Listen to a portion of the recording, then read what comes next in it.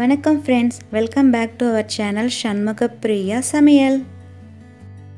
இது வரைக்கும் நம்ம சேனலை சப்ஸ்கிரைப் பண்ணாதவங்க சப்ஸ்கிரைப் பண்ணிக்கோங்க. பக்கத்தில் இருக்கிற பெல் ஐக்கானையும் நீங்கள் ப்ரெஸ் பண்ணிக்கோங்க. அப்போ தான் நான் புதுசாக போடுற வீடியோவை நீங்கள் மிஸ் பண்ணாமல் பார்க்க முடியும். இன்றைக்கி ஒரு அன்பாக்சிங் ரிவ்யூ தாங்க பார்க்க போகிறோம் இந்த மாதிரி பேக் பண்ணி நல்லா வந்திருக்கு இந்த மாதிரி. இது வந்து அமேசானில் தான் நான் வாங்கினேன். இப்போ இதை ஓப்பன் பண்ணி பார்க்கலாம். இண்டக்ஷன் ஸ்டவ் தாங்க வாங்கியிருக்கேன்.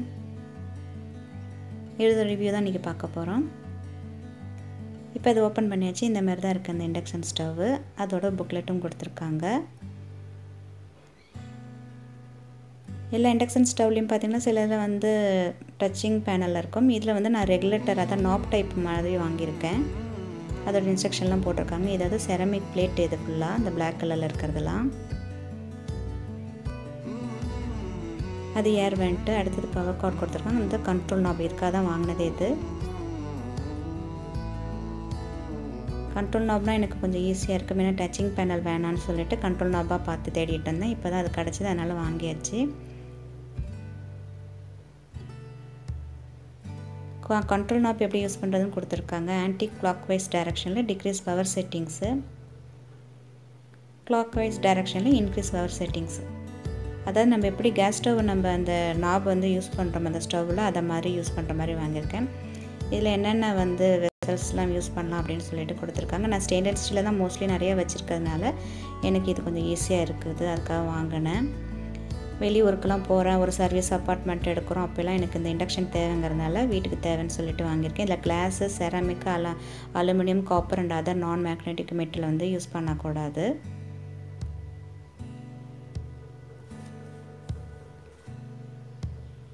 அடுத்தது கீழே பார்த்தீங்கன்னா க்ளீனிங் அண்ட் மெயின்டெனன்ஸ் கொடுத்துருக்காங்க. இது நின்று பஸர் சவுண்டு வந்ததுக்கப்புறம் தான் அதை நிறுத்தணும். ஸோ இன்ஸ்ட்ரக்ஷன்லாம் ஃபஸ்ட்டு படித்து பார்த்துட்டு அதுக்கப்புறம் யூஸ் பண்ணலாம்.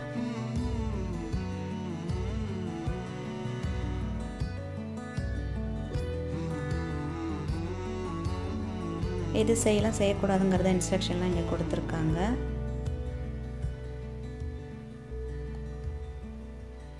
நான் நம்ம என்னோடய வீட்டுக்கு என்னென்ன பொருள் கிச்சனுக்கு வாங்குகிறோனோ அதை தான் உங்களுக்கு நான் ஷேர் பண்ணுறேன் நான் எக்ஸ்ட்ராலாம் எதுவும் வாங்குறதில்ல. இது வந்து செலோ கம்பெனியோடது இதில் மூணு கலர் இருக்குங்க. அதுமாரி கோல்டன் கலர் ஒன்று சில்வர் கலர் ஒன்று அடுத்தது ரெட் கலரு நான் ரெட் கலர் தான் வாங்கியிருக்கேன். மெயினாக இது நான் வாங்கினது வந்து பார்த்திங்கன்னா இந்த நாப்காவை தௌசண்ட் சிக்ஸ் ஹண்ட்ரட் வாட்ஸ் இது ஒன் இயர் வாரண்ட்டி கொடுத்துருக்காங்க. இதில் தோசை செய்யலாம் சப்பாத்தி கிரேவி எல்லாம் செய்யலாங்களாம் அப்படின்னு போட்டிருக்காங்க.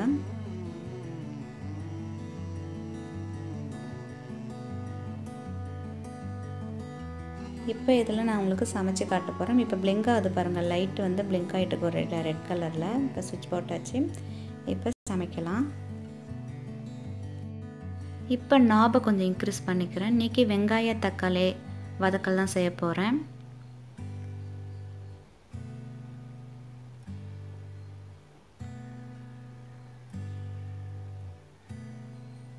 இப்போ கிரவுண்ட் ஆயில் ஊற்றியாச்சு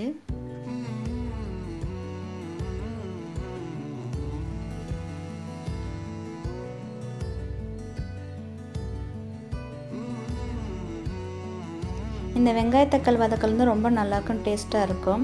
சூடான சா சாதத்தில் போட்டு சா சாப்பிட்டோம்னா நல்லா டேஸ்ட்டாக இருக்கும். அதுமாதிரி தயிர் சாதத்துக்கும் நல்லாயிருக்கும் இதில் வேறு ரொம்ப நிறைய இன்க்ரீடியன்ஸ்லாம் ஒன்றும் நான் போட போகிறதில்ல வெறும் இப்போ கொஞ்சோண்டு வெங்காயத்தையும் தக்காளி போட்டுட்டு குழம்புத்தூள் உப்பு அவ்வளோதாங்க. இப்போ தான் உங்களுக்கு முன்னாடி தான் பாக்ஸ் ஓப்பன் பண்ணிவிட்டு இப்போ தான் செஞ்சு பார்க்குறேன் எப்படி இருக்குன்னு எனக்கு தெரில பார்க்கலாம்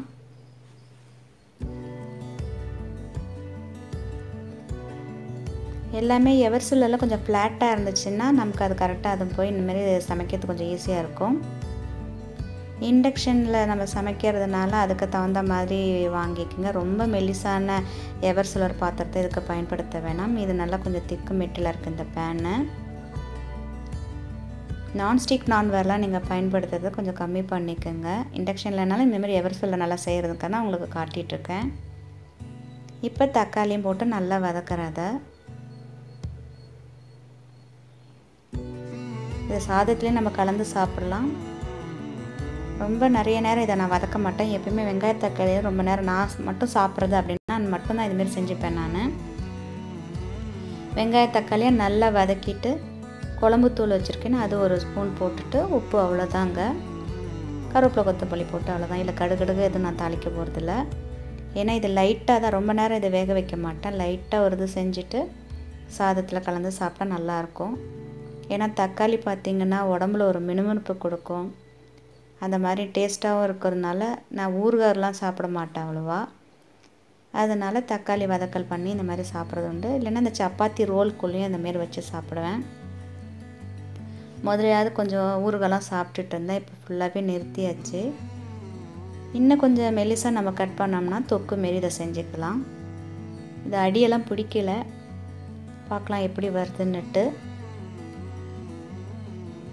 அதுலேருந்து எண்ணெயெல்லாம் வெளில வந்திருக்கு. இந்த மாதிரி வந்து வச்சு கொஞ்சம் நம்ம அடி பிடிக்காமல் லோ ஃப்ளேமில் வைக்கிறது பார்த்திங்கன்னா எப்படி நம்ம ஸ்டவ்வில் வந்து யூஸ் பண்ணுறோம் இல்லைங்களா? அந்த நாபை இன்க்ரீஸ் அண்ட் டிக்ரீஸ் அந்த மாதிரி இது கொஞ்சம் வசதியாக இருக்குது கொஞ்சம் இன்க்ரீஸ் பண்ணாலும் இன்க்ரீஸ் பண்ணிக்கிறோம். கொஞ்சம் கம்மியான ஃப்ளேம்ஸில் அதாவது வேணும் அப்படின்னு சொன்னாலும் நாபில் நம்ம அதை டிக்ரீஸ் பண்ணிக்கலாம். இது கொஞ்சம் எனக்கு வசதியாக தான் இருக்குது ஈஸியாக தான் தெரியுது. முதல்ல வச்சுருந்த டச்சிங் பேனல்லாம் வாங்கினேன். அதெல்லாம் பார்த்திங்கன்னா ஒரு அஞ்சாறு வருஷம் இருந்தது. அதுக்கப்புறம் பார்த்தா அது கரெக்டாக ப்ராப்பராக ஒர்க் ஆகலை. அதுக்கப்புறம் அந்த டச்சிங் பேனல் வந்து சரியில்லை. அதை மாற்றணும் அதுக்கு அதுக்குன்னாங்க. அது எக்ஸ்ட்ரா காசு வாங்குறதுக்கு புதுசு வாங்கலான்னு வெயிட் பண்ணேன். இது க என்னோடது. அது போய் ரெண்டு வருஷம் கழித்து இப்போ தான் நான் இதே வாங்குகிறேன் இந்த மாதிரி பிளிங்க் ஆகுது. ஆஃப் பண்ணதுக்கப்புறம் அந்த லைட்டு பிளிங்க் ஆகுறது நிறுத்துன்னு அதுக்கப்புறம் நம்ம ஸ்விட்ச் ஆஃப் பண்ணிடலாம். இப்போ ரெடியாக இருக்குது வெங்காய தக்காளி விதக்கல் இல்லை பச்சை மிளகா கூட போட்டுக்கலாம் நல்லா டேஸ்ட்டாக இருக்கும். அதாவது காரம் கம்மி பண்ணிவிட்டு அதுமாரி போட்டாலும் போட்டு சாப்பிட்லாம்.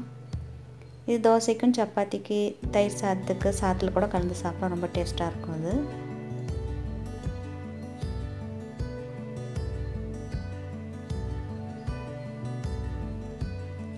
என்னோடய கிச்சனுக்கு எந்தெந்த பொருள் நான் வாங்குகிறேனோ அதுதான் உங்களுக்கு நான் ரிவ்யூவாக போட்டு காட்டுறேன். சில பேருக்கு ஏதாவது தேவை இதுமாரிலாம் கொஞ்சம் இருக்குது இந்தமாரி நாபு வச்சது இருக்குது அப்படின்னு சொல்லிட்டு இதுக்கு முன்னாடி ரைஸ் குக்கரில் வந்து இதேமாரி எவர் சிலர்லேயும் அந்த பாட்லாம் கிடைக்குதுங்கிறதுக்காக தான் காட்டுறேங்க. உங்களுக்கு இந்த வீடியோ பிடிச்சா லைக் ஷேர் சப்ஸ்கிரைப் பண்ணுங்கள் சண்முக பிரியா சமையலுக்கு உங்கள் ஃப்ரெண்ட்ஸ் அண்ட் ரிலேட்டிவ்க்கும் ஷேர் பண்ணுங்கள் நன்றி மீண்டும் சந்திப்போம்.